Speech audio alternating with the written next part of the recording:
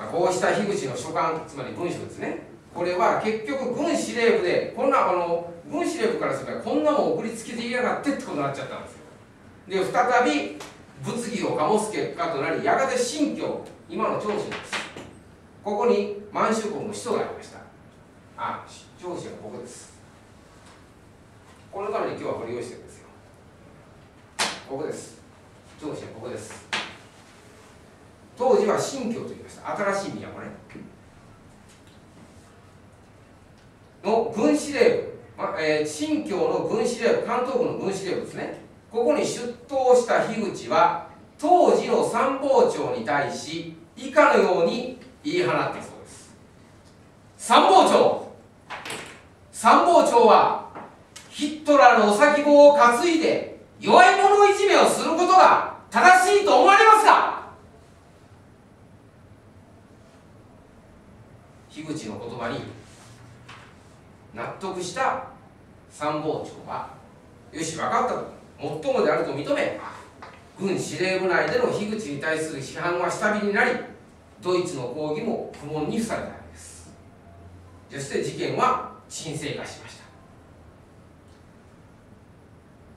まあその背景に何があったかというとやはりこれは日本の当時の我が国の目指していた精神にもあったんですよね。それは何かというとユダヤ人を排斥するということは我が国が長年国是としてきた人種平等の精神には合致しないその通り。我が国は大正時代世界で初めて人種差別撤廃法案を当時の国際連盟に出した国です。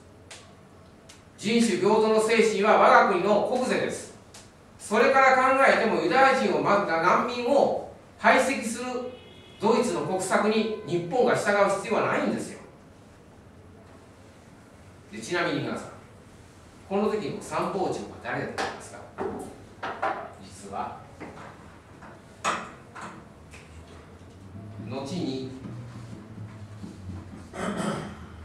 我が国の内閣総理大臣と大東亜戦争を結果的に起こした時の総責任者となってしまった東条英機なんです。松岡洋介と東条英機が実はこのオトポール事件に2人とも密接に関わっている。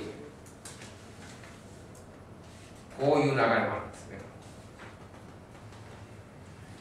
かくして昭和15年1940年につまり樋口の2年後ですよね。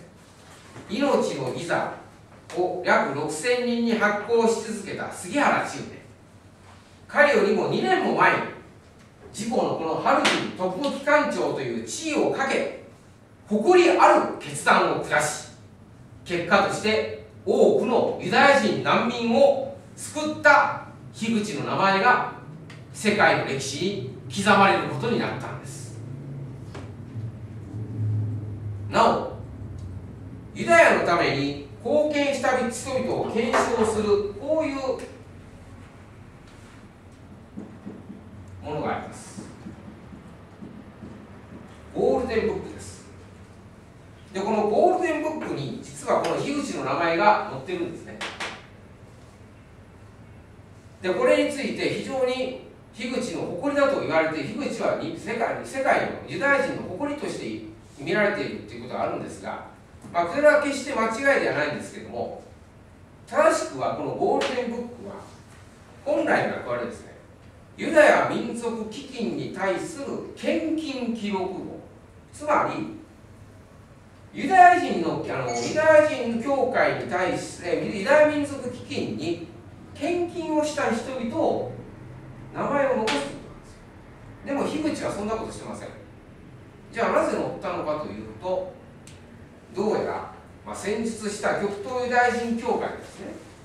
樋口の誇りある決断に対して感謝を示す意味で後日彼の名前で献金をしたからゴールデンブックに載っているのではないかと言われています。いずれにせよ樋口の人柄が彼をゴールデンブックに名を刻ませたというのかもしれません。